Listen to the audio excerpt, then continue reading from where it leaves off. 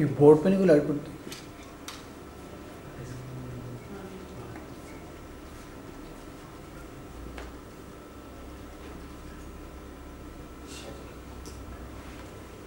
तो सात लेक्चर्स में हम एनएमआर स्पेक्ट्रोस्कोपी की, के बारे में जानने की कोशिश करेंगे अगर ये कहा जाए कि NMR is one of the most important techniques used for the characterization of chemical compounds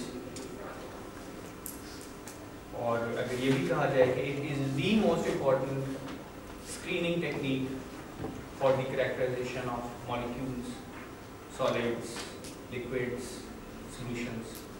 तो शायद ये दूसरी स्पेक्ट्रोस्कोपिक टेक्निक्स की हद तलफी ना हो क्योंकि जब भी एक केमिस्ट या एक मटेरियल साइंटिस्ट एक नया कंपाउंड बनाता है खास तौर पे ऑर्गेनिक कंपाउंड या ऑर्गेनोमेटालिक कंपाउंड और किसी हद तक इनऑर्गेनिक कंपाउंड भी the first test that he has to perform is to take an NMR spectrum तो इन छः सात लेक्चर्स में हम कोशिश करेंगे कि एनएमआर स्पेक्ट्रम और एनएमआर सिग्नल की ओरिजिन को तलाश कर सकें कि वो सिग्नल कहाँ से फूटता है और उसकी क्वांटम मैकेनिकल बेसिस क्या है।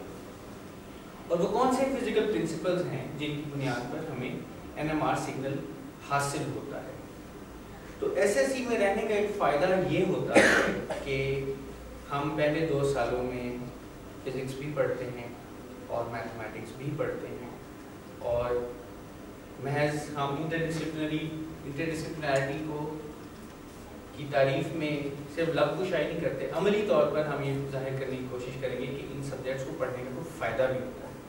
तो इसलिए ये मेरे छः सात लेक्चर्स उन टॉपिक्स पे बिल्डअप करेंगे जो आपने मॉडर्न फिजिक्स में या क्वांटम मैकेनिक्स में या मैथमेटिक्स के मुख्तलिफ़ कोर्सेज में पढ़े होंगे ताकि हमें समझ आ सके कि एनएमआर सिग्नल का बाकी ओरिजिन क्या है। क्योंकि अगर हम एनएमआर सिग्नल के ओरिजिन को समझ सकें और उसकी मैथमेटिकल डिस्क्रिप्शन बयान कर सकें तो ये वो फाउंडेशंस हैं जिस पे हम प्रैक्टिकल स्पेक्ट्रोस्कोपी से फ़ायदा उठा सकते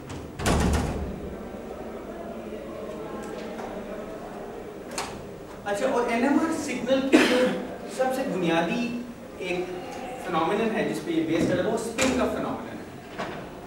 अच्छा मैं सिंपल एक मोटिवेशनल एग्जांपल देता हूँ स्पिन और मैग्नेटिक मोमेंट की रिलेशनशिप को ज़ाहिर करने के लिए। और इस एक रिवीजन है। देखिए, आपके पास एक प्रोटॉन है। And you have an electron that is revolving around the proton. Now we know that the electron is a charged particle. So whenever the charged particle is moving or is accelerating, it produces a magnetic moment. So this electron, which is moving in an orbit of radius r around the nucleus, it generates a magnetic moment and that magnetic moment mu is simply given by the current I that accompanies the flow of the electron and the area enclosed. The area enclosed is pi r square. Now how do we define I? I is just the rate of passage of current per unit time. So I is minus E over the time period with which the electron revolves.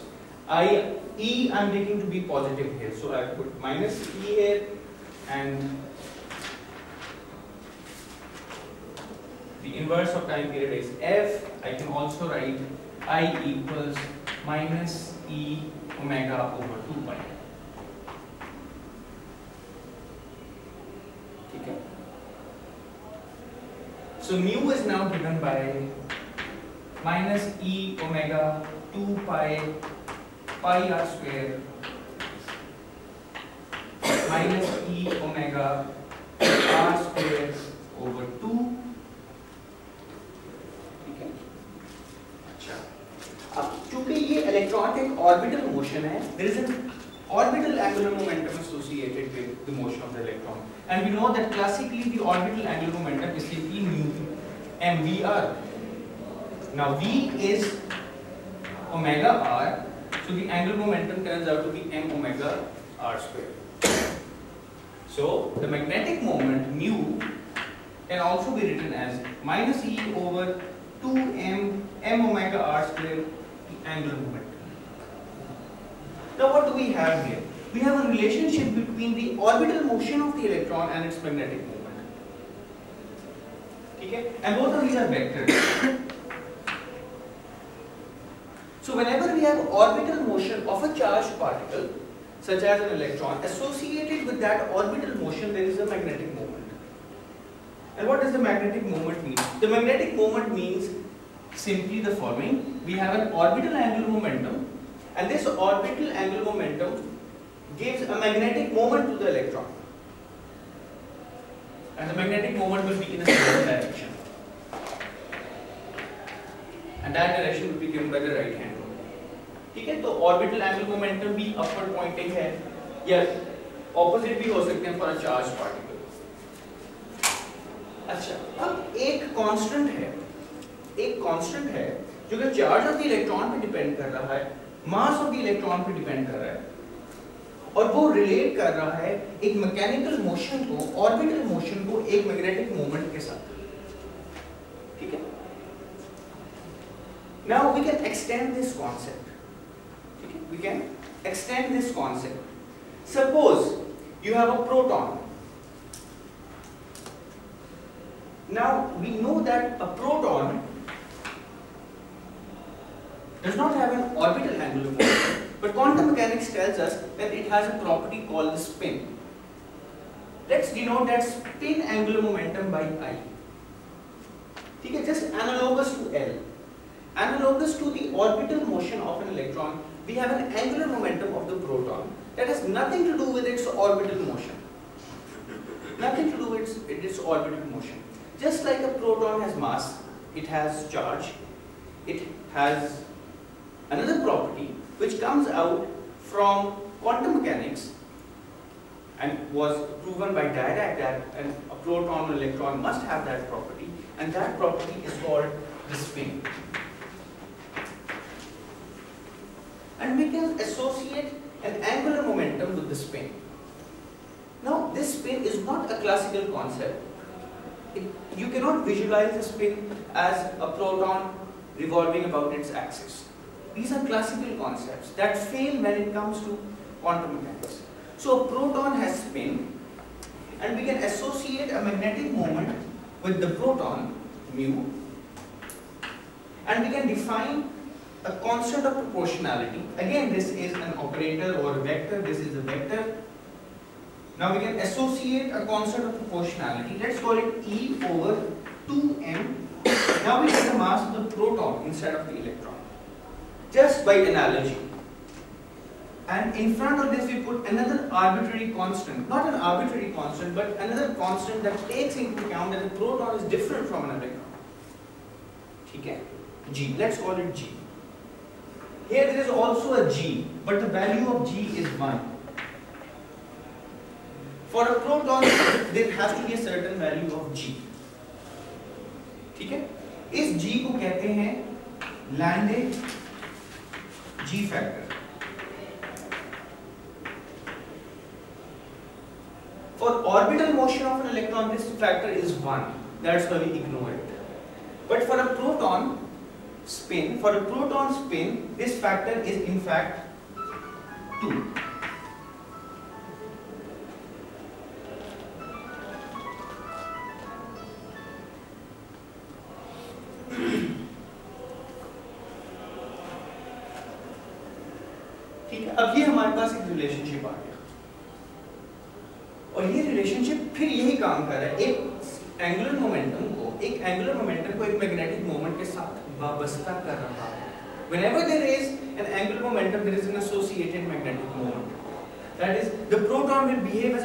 Magnet.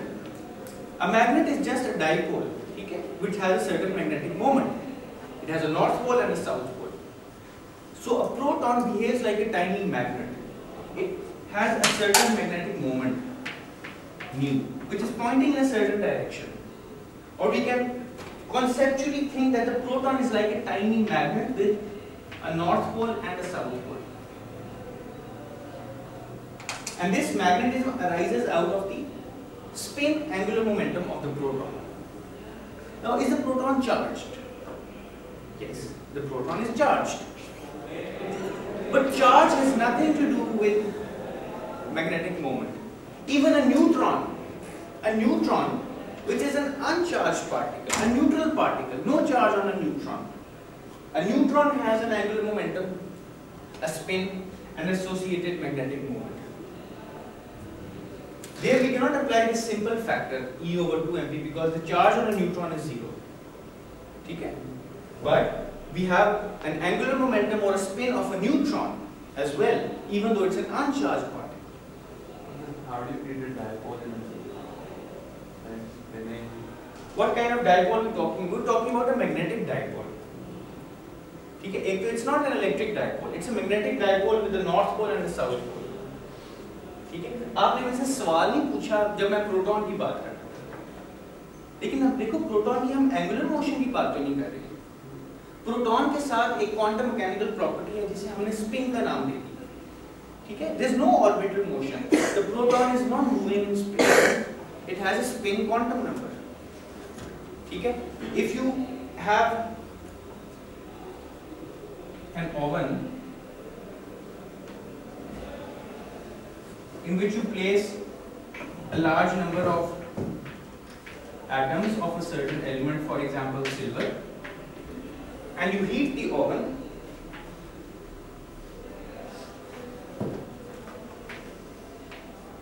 So these silver atoms, they will be ionized and the silver plus ions,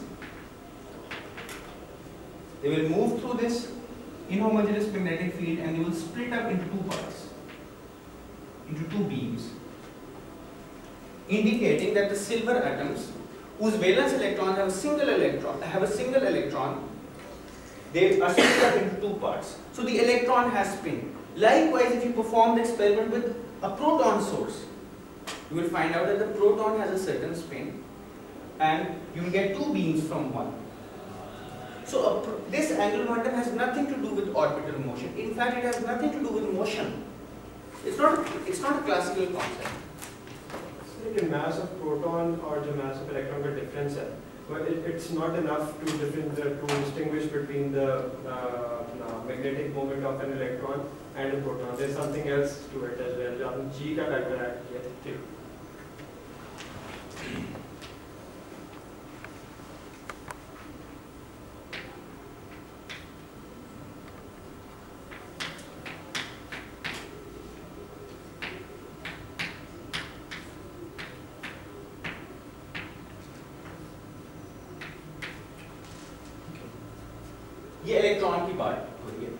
magnetic moment associated with the orbital motion of an electron ठीक है? An electron also has spin ठीक है? Electron का एक orbital angular momentum है, लेकिन electron के साथ एक स्पिन भी तो है ना। अच्छा अब हम एक और फॉर्मूला लिखते हैं इसमें हम इलेक्ट्रॉन की स्पिन लिखते हैं।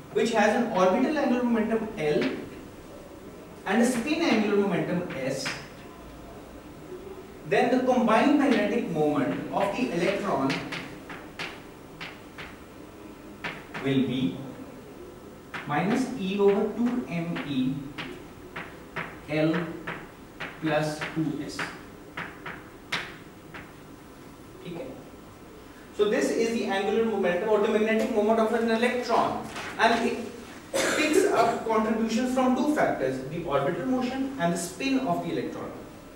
Now let's talk about a proton. Can I, um, since you said these are vectors, shouldn't we square them and add them rather than just simply adding them? Can we simply add them? So this is a vector, this is a vector. Yeah. Square and add them. No, but, but we are, this has a certain direction, this has a certain direction. The magnetic moment arising out of the orbital motion and the spin motion, they have to be added like a vector. ठीक है? तो ये है magnetic moment of an electron. ठीक है? इसमें एक orbital contribution है from the electron और एक spin contribution है. ठीक है? ये हमने बात कर ली इलेक्ट्रॉन की अब ये फैक्टर टू कहाँ से है ये फैक्टर डायरेक्ट इक्वेशन से आया ठीक है और आप इसको एक्सपेरिमेंटली प्रूव कर सकते हैं स्पेक्ट्रोस्कोपी के ज़रिए कि ये फैक्टर क्या है ठीक है? हफ्सा वगैरह आपको तो ये याद होगी ये बात। अच्छा अब हम बात करें प्रोटॉन की। ठीक है? प्रोटॉन की बात करते हैं। जब हम प्रोटॉन की बात करते हैं तो भी a proton does not have an orbital angular momentum. It only has spin. ठीक है? तो mu due to i of a proton की कन्वेंशन है कि L आपकी ऑर्बिटल एंगुलर मोमेंटम इलेक्ट्रॉन का, ये स्पिन एंगुलर मोमेंटम इलेक्ट्रॉन का, और प्रोटॉन ये न्यूक्लियस की जो चीज़ें हम उनके एंगुलर मोमेंटम को I कहते हैं। सो यू हैव माइनस और E over 2m of a proton and some G for the proton and an here. ठीक है? और इसकी जो वैल्यू है G, जो प्रोटॉन की, वो है two approximately two sorry five point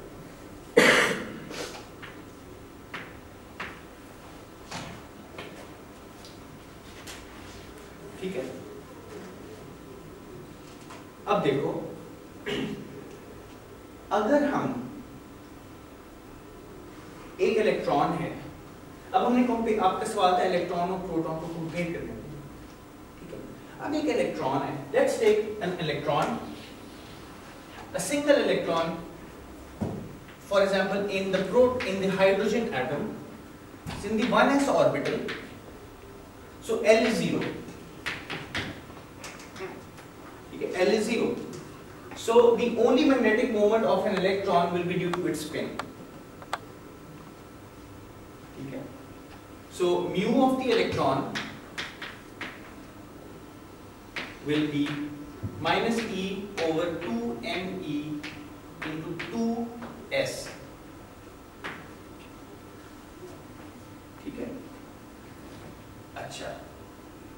This is minus e over M E S अच्छा एक प्रोटॉन की बात करें तो प्रोटॉन के लिए we have minus approximately minus five plus five into E over two M E and angular momentum ठीक है ऑफ़ द प्रोटॉन अच्छा। अब ये क्वांटम मैकेनिकल ऑपरेटर्स हैं, ठीक है? इनकी कोई आइगन वैल्यूज़ हैं। ठीक है? एस की आइगन वैल्यूज़ हैं एम एस एच पर। आई अभी ऑपरेटर्स का रूप धारते हैं ये वेक्टर ऑपरेटर्स इसकी भी कोई आइगन वैल्यूज़ हैं? इनको कह देते हैं एम आई एच पर।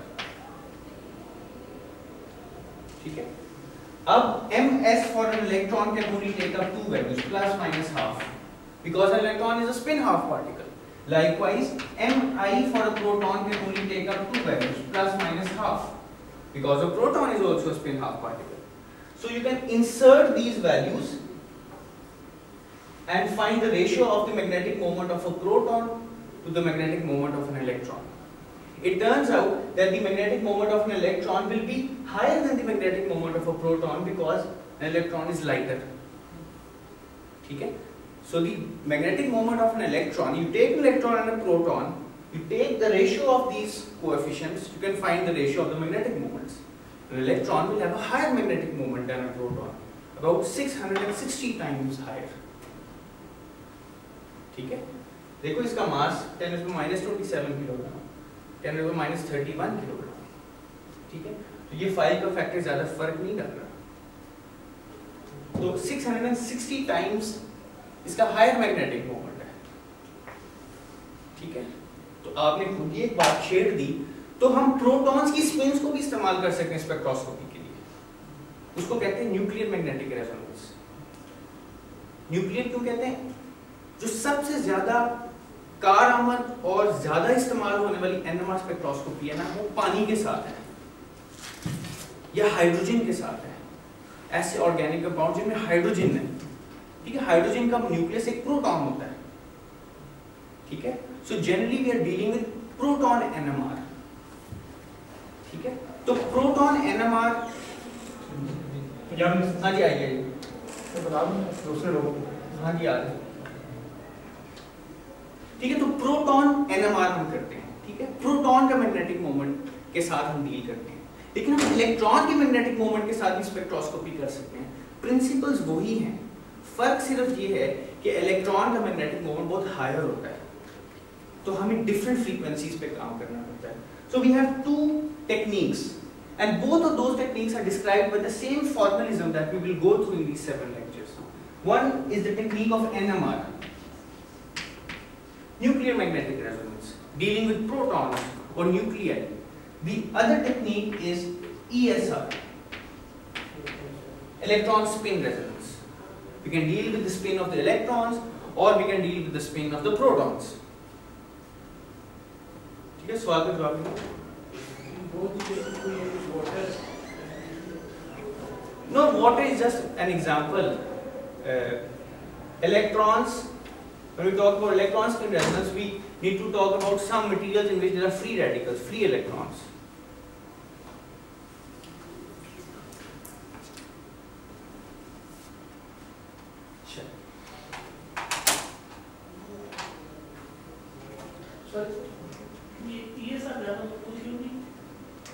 सर ज़्यादा मकबूल इसलिए नहीं है मकबूल है उतनी मकबूल इसलिए नहीं है क्योंकि ईएसआर में आप इलेक्ट्रॉन के साथ डील कर रहे हैं। अब जो कंपाउंड्स जिनके अंदर फ्री रेडिकल्स अवेलेबल हो, ठीक है, वो आमतौर पे अनस्टेबल होते हैं टॉक्सिक होते हैं। पहली बात। दूसरी बात एनएमआर डील करती है लोअर फ्रीक्वेंसीज के साथ, क्योंकि इसका जायरोमैग्नेटिक रेशियो या मैग्नेटिक मोमेंट कम है। Electron spin frequency higher frequency के साथ डील करती है माइक्रोवेव फ्रीक्वेंसीज के साथ। और माइक्रोवेव फ्रीक्वेंसीज को हैंडल करना आसान उनके लिए इलेक्ट्रॉनिक्स अभी वेल एस्टैब्लिश नहीं है ठीक है एक्सपेंसिव भी है अच्छा ठीक है ये तो बेसिक्स यहाँ तक बात क्लियर हो गई तो अब हम प्रोटॉन पे फोकस करने जा रहे हैं यानी hydrogen nucleus is a proton and that's our point of focus Now let's look at the magnetic moment of a proton, mu. I just call it mu. Subscript सब भूल जाते हैं. Some g e over 2 mp और I ठीक है? In fact this is an operator a quantum mechanical operator this is a quantum mechanical operator ठीक है? अच्छा।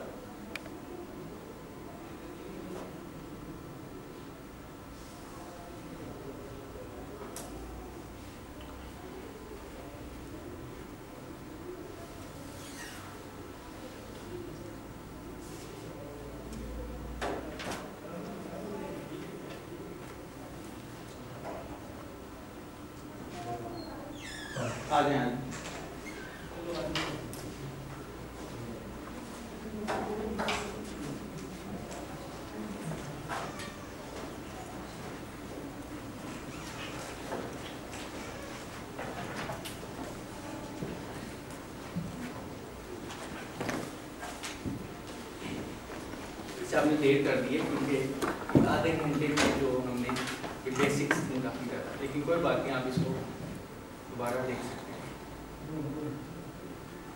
मुश्किल से मिली जाएगा। अच्छा अब देखें, ये एक हमारे पास मैग्नेटिक मोमेंट है और ये एक स्पिन एंगुलर मोमेंटम ऑपरेटर है। ठीक है? अच्छा। अब देखें for example we have a spin a proton and associated with this proton is a magnetic moment we place this magnetic moment inside a magnetic field B pointing in the z direction. So it is some b naught pointing in the z direction. ठीक है अच्छा अब हमें पता है कि whenever we apply a magnetic field, whenever we apply a magnetic field, the degeneracy is lifted, and as a result, the, this this angular momentum operator takes up its eigenvalues. आप याद रखेंगे हमारे पास ऑपरेटर है orbital motion के लिए अगर L G ठीक है इसकी कुछ आइगन वैल्यूज़ हैं वो क्या है या एक This is the azimuthal one? This is the azimuthal quantum Ah,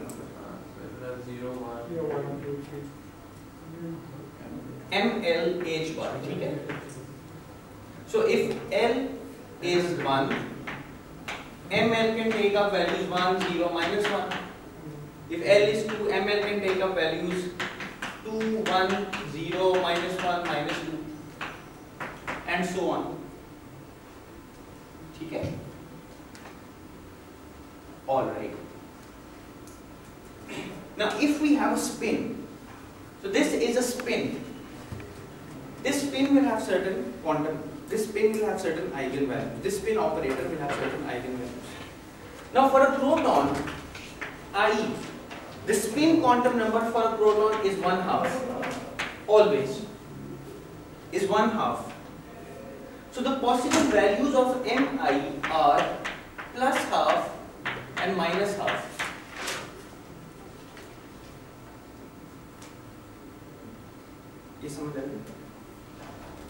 ठीक है?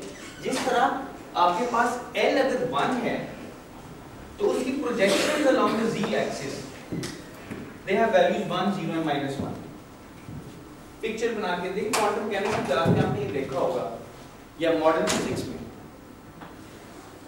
We draw a circle this is the z axis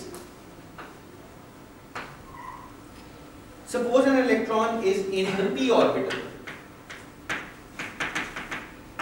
Now when the electron is in the p orbital l has a value 1 you can draw a vector of a certain length under root 2 h bar which is L into L plus 1 under root into h bar. And this represents the angular momentum.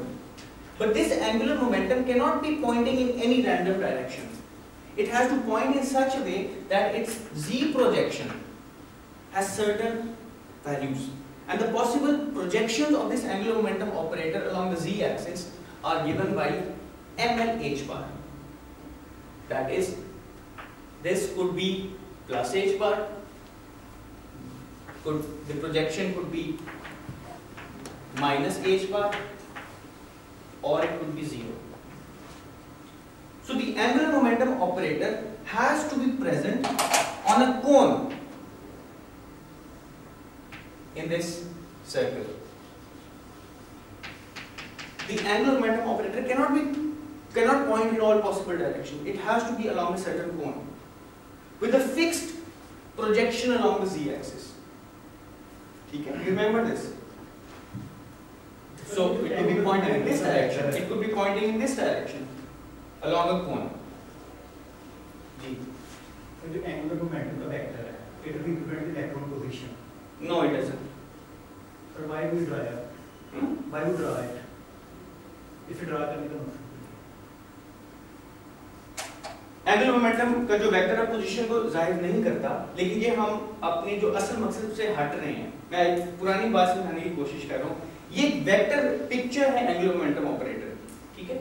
और vector picture वो ज़ाहिर ये करती है कि अगर आप एक जी एक्सिस डिफाइन करते हैं तो जो एंगुलर मोमेंटम का जो वेक्टर है वो एक खास डायरेक्शन में पॉइंट कर सकता है और इसकी खास लेंथ हो सकती है।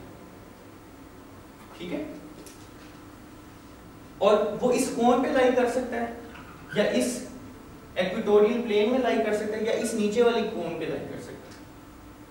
ठीक है? उसका जी प्रोजेक्शन फिक्स्ड होना चाहिए। उसकी लेंथ एच बार हो सकती है, या ज़ीरो हो सकती है, या माइनस एच बार हो सकती है। स्पेस भी क्वांटाइज हो जाती है। Space is quantized likewise if you talk about the spin of a proton the value is one half so the possible values of mi are plus half and minus half So the possible projections along the z-axis are h bar over 2 and minus h bar over 2. So we have applied a magnetic field along the z-axis. The magnetic moment along the z-axis, this magnetic moment along the z-axis can take up only precise values and those values are g, e over 2mp, mi, h bar.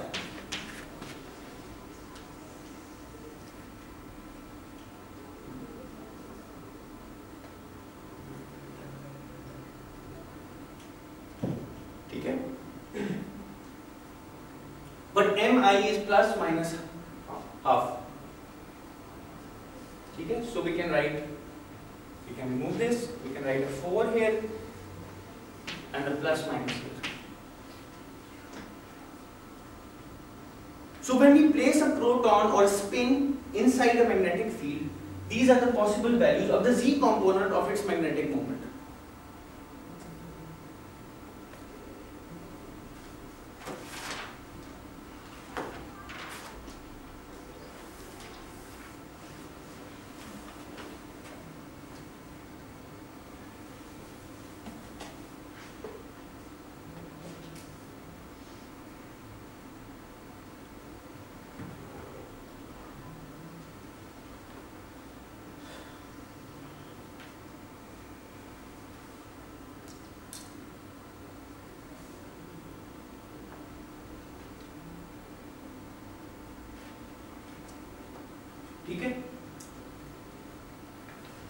यहाँ तक आपको बात कुछ clear हुई कि हम क्या किया पीछे से हमने सर दूसरे कंपोनेंट्स फाइंड कर सकते हैं Same मैग्नेटिक कंपोनेंट सेम ही होगा। Same as field हमारे particular direction से।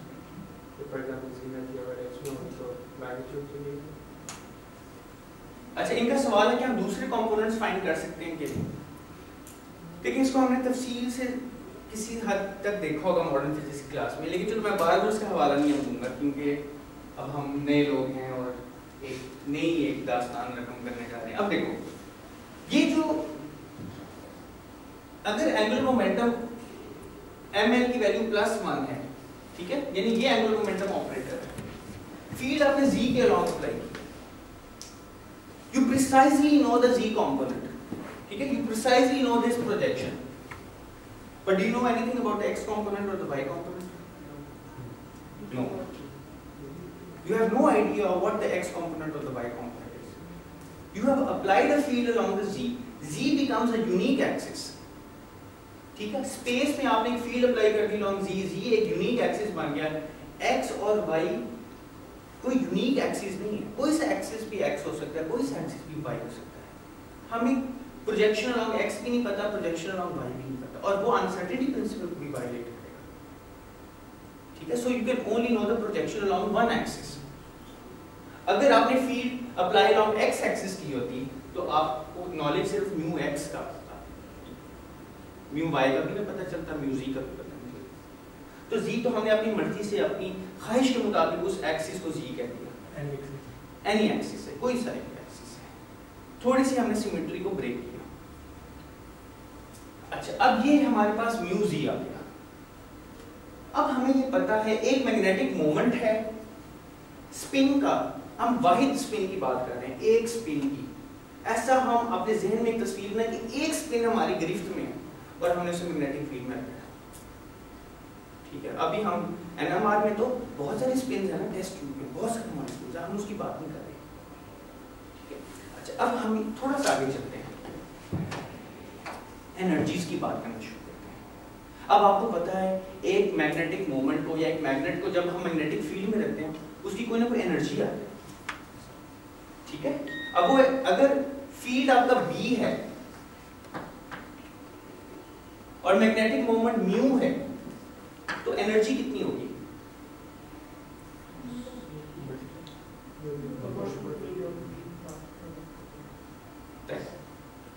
एक मैग्नेटिक मोमेंट को मैग्नेटिक फ़ील्ड में रखती है। तो what's the energy what's the magnetic energy mu times b का क्या मतलब? So वो डॉट प्रोडक्ट डॉट प्रोडक्ट और माइनस ये एनर्जी है। मैग्नेटिक एनर्जी ठीक है? All right so now you have a magnetic field along the z direction with magnitude b naught. and this is your projection along the z axis so you can write minus mu z b naught the energy ठीक है अब mu z क्या है plus minus this so you have plus minus g e over 4 mp h bar v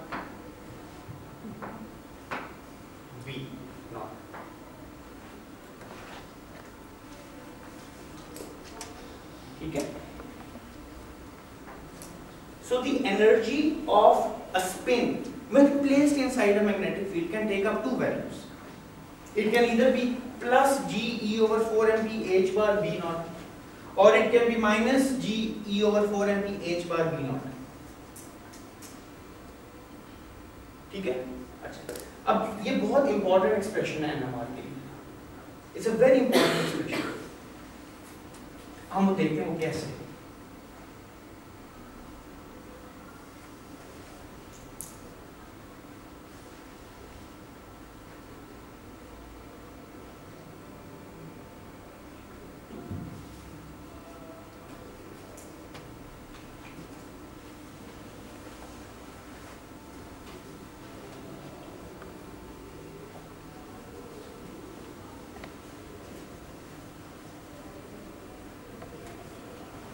ये जो हमने पहले किए ना आधे घंटे में, इसको हम दोबारा कवर अप कर लेंगे नेक्स्ट लेक्चर में अगर आप जल्दी आ जाए ना, आधा घंटा।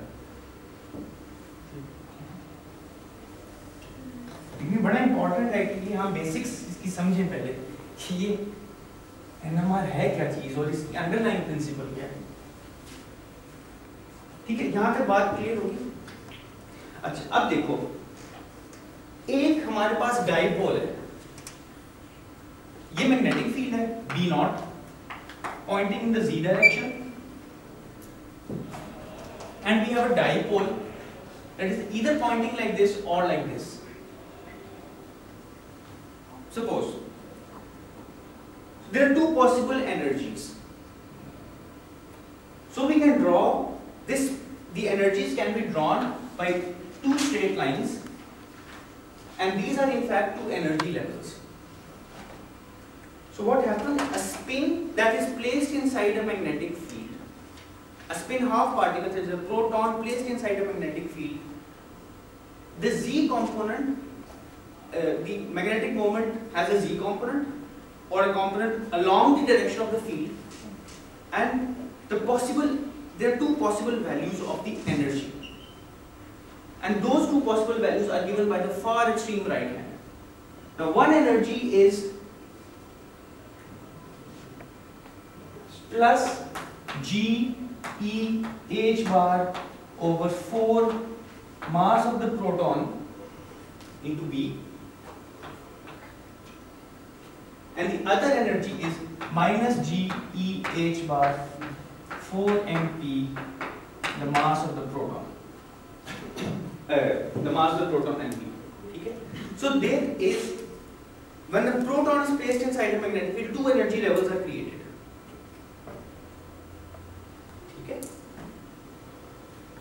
जब प्रोटॉन मैग्नेटिक फ़ील्ड के अंदर मौजूद नहीं था, या वो ज़ीरो मैग्नेटिक फ़ील्ड के अंदर था, हम ये दो लेवल्स आइडेंटिफाई नहीं कर सकते।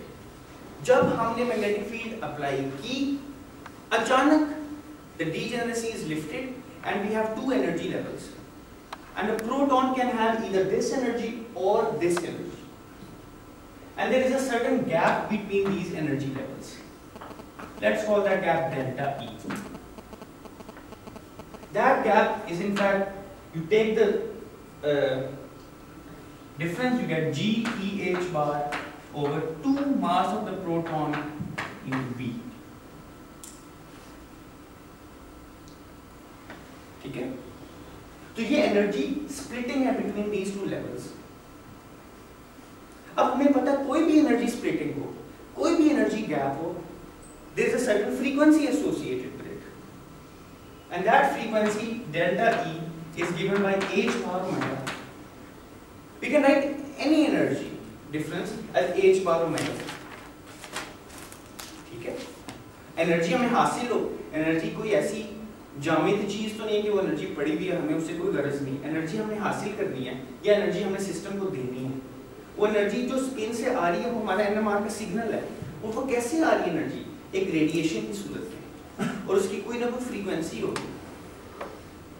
ठीक है? तो delta e equals h bar omega अब एच बार ओमेगा को इसके बराबर रख के देखते हैं क्या होता है।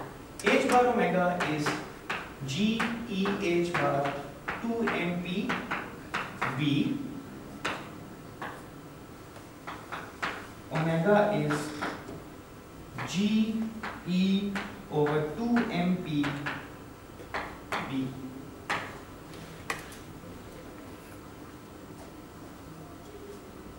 ठीक है अब स्पिन्स से हमने कोई एनर्जी हासिल करनी है, या उसको कोई एनर्जी देनी है? उसकी तफसील में बाद में जाएँगे। लेकिन जब हमने स्पिन को मैग्नेटिक फ़ील्ड में रखा तो दो एनर्जी लेवल्स बन गए। ठीक है? क्योंकि डीजेनरेसी लिफ्ट होगी अब दो एनर्जी लेवल्स के दरमियान एक गैप है, एक स्प्लिटिंग है। और वो स्प्लिटिंग उस एक फ्रीक्वेंसी है, उस स्प्लिटिंग की, और वो स्प्लिटिंग ये है। अब देखिए, ये सारी चीज़ें कांस्टेंट है।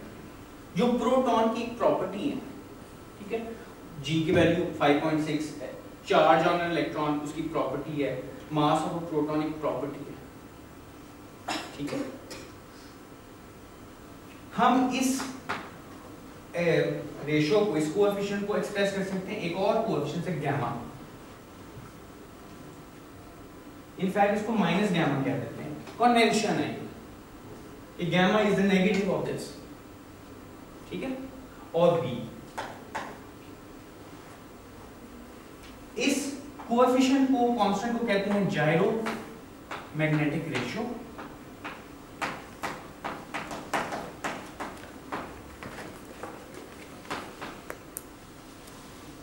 ठीक है? या मैग्नीटो जायरिक रेशियो कुछ से और ये इस कांस्टेंट को या इस फ्रीक्वेंसी का एक खास नाम है एनएमआर की ज़ुबान।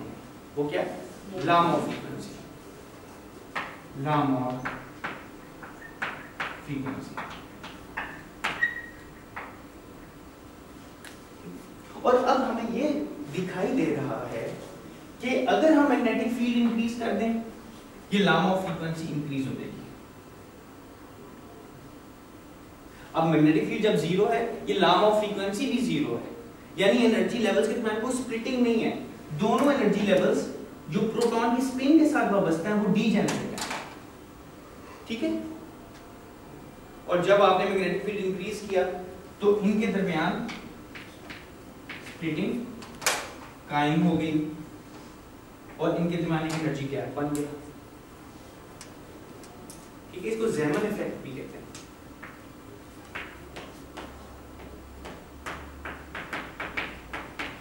फिर आपने मैग्नेटिक फ़ील्ड मजीद इंक्रीज कर दी।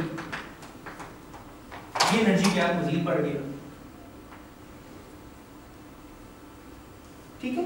और जो जो आपने मैग्नेटिक फ़ील्ड इंक्रीज करते गए एनर्जी गैप बढ़ता गया और फ्रीक्वेंसी लामा फ्रीक्वेंसी बढ़ती गई। ठीक है? तो अगर ये आप कांस्टेंट निकालें, अगर ये आप कांस्टेंट निकालें तो इसकी वैल्यू अगर आप घर जाके कैलकुलेशन करें इसकी वैल्यू तकरीबन 42 मेगाहर्ट्ज पर टेस्ला है। यानी एक टेस्ला मैग्नेटिक फ़ील्ड अप्लाई करें the Larmor frequency is 42 megahertz दो टेस्ला 84 मेगाहर्ट्ज तीन tesla and so on for proton for proton ठीक है? इसीलिए एनएमआर की जब आप बात करें या आप बता दें कि किस फ्रीक्वेंसी पे आप काम कर रहे हैं? 100 megahertz 40 megahertz 60 megahertz 200 megahertz 900 megahertz या आप मैग्नेटिक फ़ील्ड बता दें? इतने टेस्ला का मैग्नेट चाहिए। आपको ठीक है? अच्छा। अब थोड़ी सी अब हम मजीद तफसील में जाते हैं। आपने वो बताया था प्रोटॉन कोन की फॉर्म में अलॉन्ग जी एक्सिस रोटेट कर सर, दो किस्म की पॉसिबल है कि अलॉन्ग एक्सिस भी तो है, उसके। तो एनर्जी दो किस्म की तो होगी। वो जो मैंने एग्जांपल दी ना, वो इलेक्ट्रॉन के लिए दी इलेक्ट्रॉन का एक ऑर्बिटल एंगुलर मोमेंटम होता है। दरअसल लेकिन जब हम क्वांटम मैकेनिक्स पढ़ते हैं ना, जब हम क्वांटम मैकेनिक्स पढ़ते हैं, जो क्वांटम मैकेनिक्स ही एक ट्रू थ्योरी है। जब हम एटम्स को स्टडी करते हैं मॉलिक्यूल्स हमारी परवरिश होती है क्लासिकल मैकेनिक्स के कॉन्सेप्ट्स में मोशन जब हम क्वांटम मैकेनिकल स्पिन और एंगुलर मोमेंटम की बात करें, हम ये नहीं कह सकते कि प्रोटॉन ऐसे घूम रहा है। हम सिर्फ़ ये कह सकते हैं कि एक एंगुलर मोमेंटम वेक्टर है। उस प्रोटॉन के साथ एसोसिएटेड या इलेक्ट्रॉन के साथ एसोसिएटेड और वो यहाँ इस स्पेस में, इस ओरिएंटेशन में लाई कर सकता है ये इसको लामा फॉर्मूला भी कहते हैं। और ये बेसिस है एनएमआर का। यहाँ से बात शुरू होती है। ये सब तमहीद है। ऑल प्री लोग हाँ जी।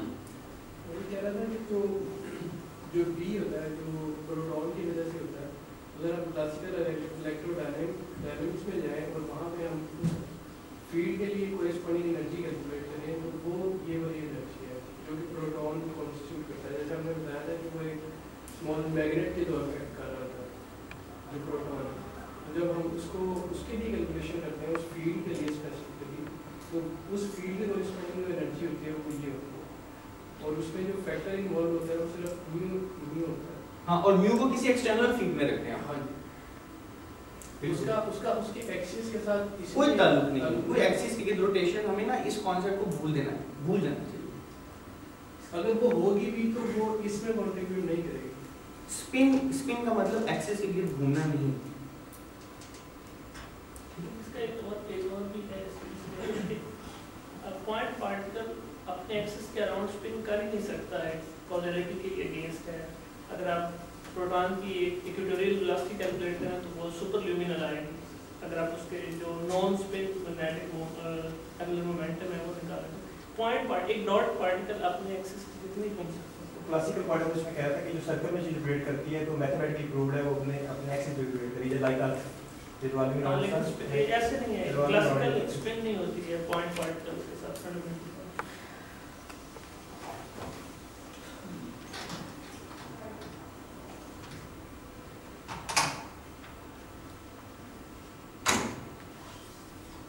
ठीक है तो हमारे पास डिफाइनिंग रिलेशनशिप आ गया mu omega is minus gamma मी ठीक है, ये रेडियंस पर सेकंड में इसको आप हर्ट्ज में कर सकते हैं। और ये जायरोमैग्नेटिक रेशियो प्रोटॉन का अपना जायरोमैग्नेटिक रेशियो होगा। इलेक्ट्रॉन्स के लिए भी ये प्रॉपर्टीज़ बिल्कुल वैलिड है।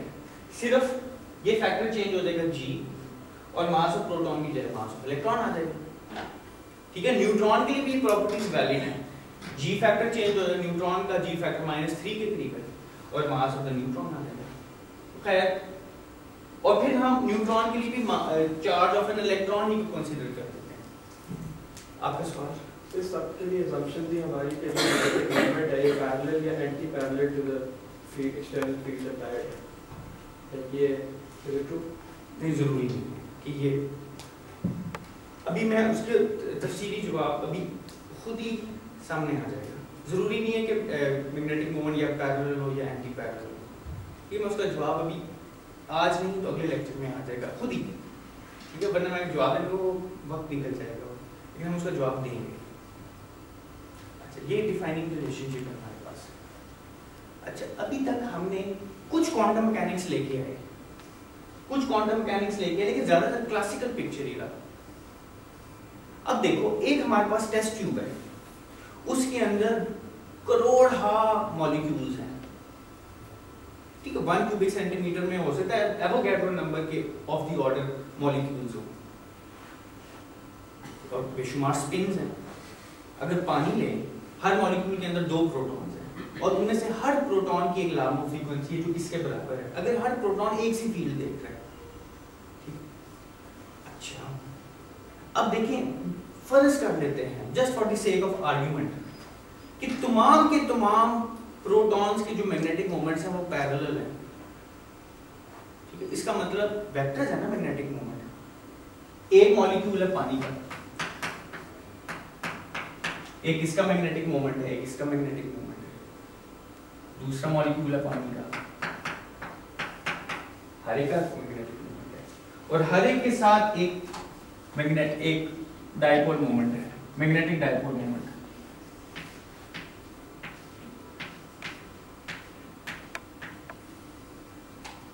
Let's suppose for the sake of argument that all these magnetic moments are pointing in the same direction. है? Let's suppose.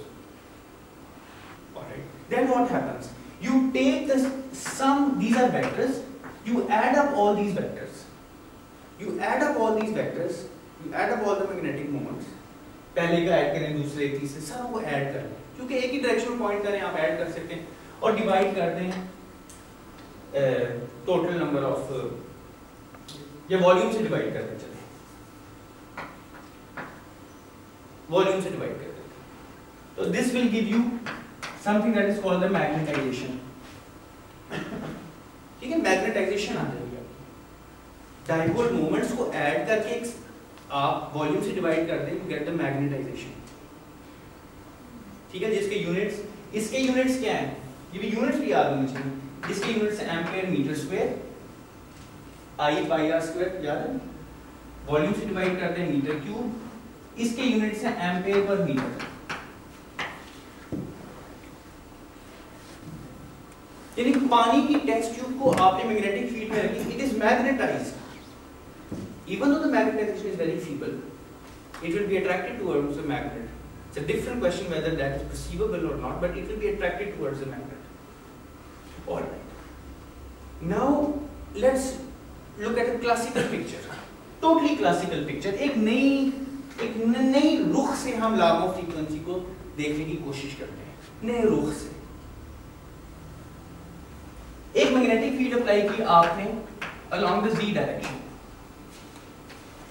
और एक एक वेक्टर है which is the magnetization vector along certain direction ठीक है? अब एक मैग्नेटिक फ़ील्ड में मैग्नेटाइजेशन वेक्टर रखा हुआ है तो क्या होगा?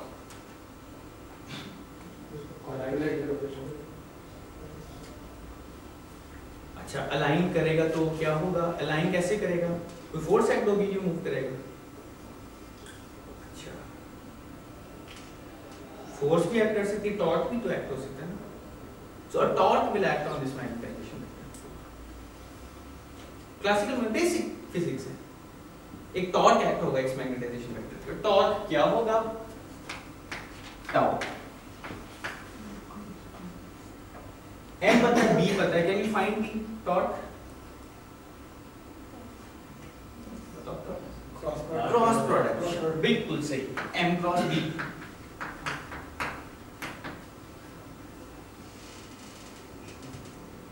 अब टॉर्क क्या है? Rate of change of angular momentum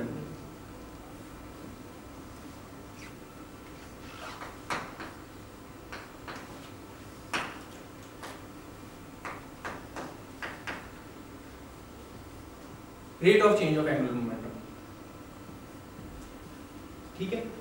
लेकिन हमें पता है कि ये जो इस फैक्टर को हम one over gamma d by d t m लिख सकते हैं। ये जो जायरोमैग्नेटिक रेशियो ओमेगा और बी के दरमियान है ना, यही जायरोमैग्नेटिक रेशियो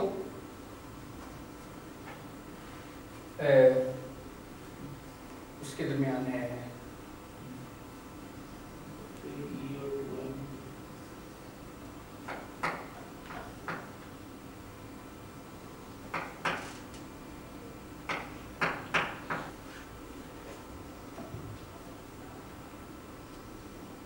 ठीक है बिल्कुल क्लासिकल हमारे पास बहुत सारी स्पिन्स हैं।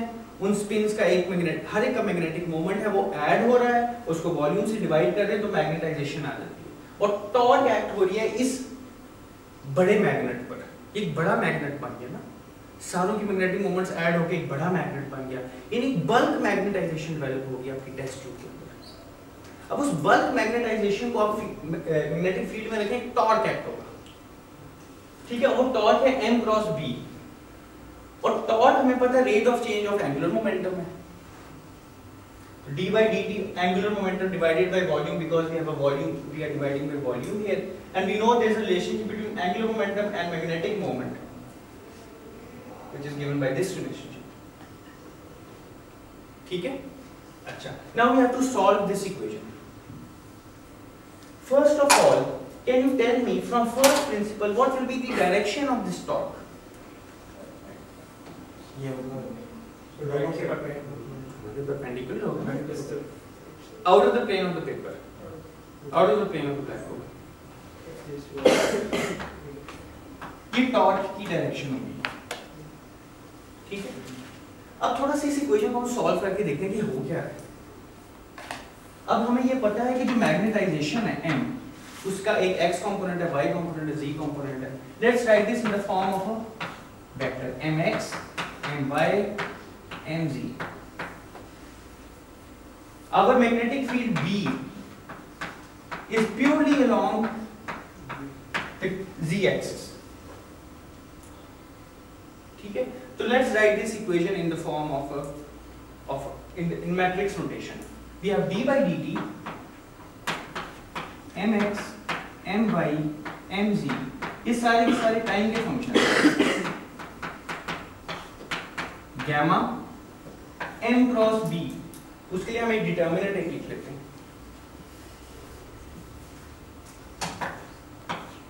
I, j, k mx my mz 0 0 b naught ठीक है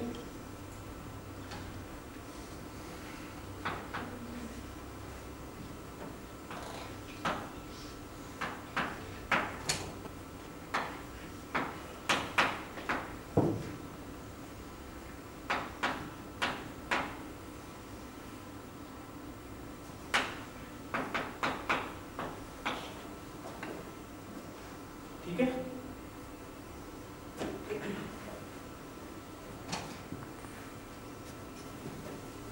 इसके रिज़ल्ट बहुत खूबसूरत है। बहुत अच्छा आपको पसंद आएगा इसका रिज़ल्ट और बात बिल्कुल साफ़ वाजह हो जाएगी कि हो क्या रहा है नंबर के अंदर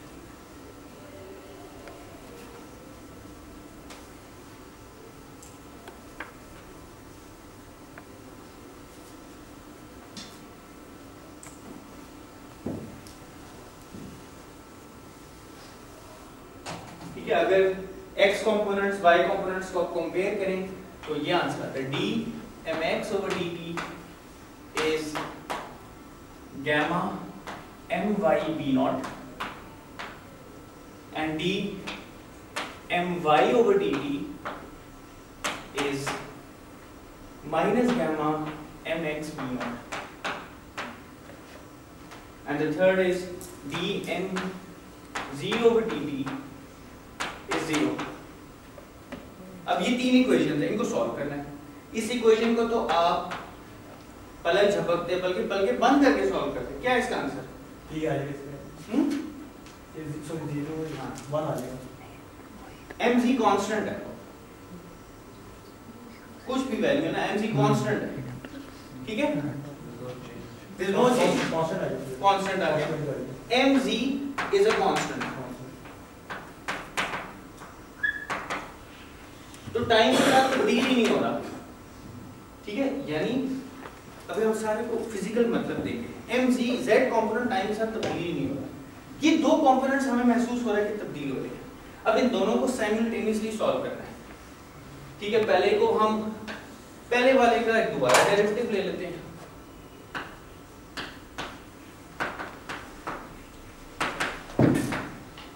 gamma b naught dmy by dt is fact this minus gamma b naught mx minus gamma square b naught square mx ठीक है mx dt square plus gamma square b naught square mx is zero ठीक है एक आपके पास second order differential equation बन गई इसको सॉल्व करने के आपके पास बेश बहा तरीके हैं। आपने पूरे पूरे कोर्सेज पढ़े हुए हैं। अपना वक्त इस पर लगाया हुआ है। क्या इसका आंसर है? है। साइन और कोसाइन की फॉर्म में आ जाएगा।